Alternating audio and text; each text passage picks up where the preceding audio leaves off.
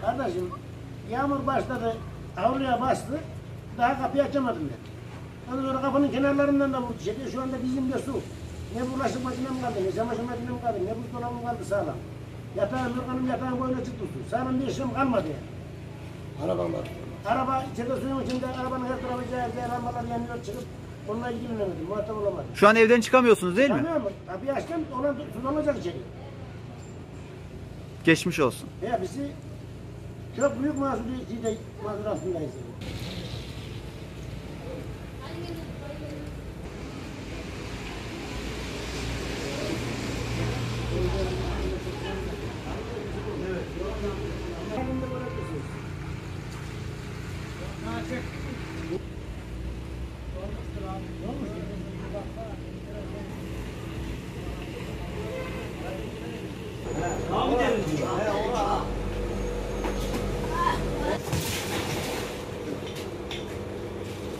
Bu seviyeye bindik zaten abi. Evin içindeki suyu falan çek.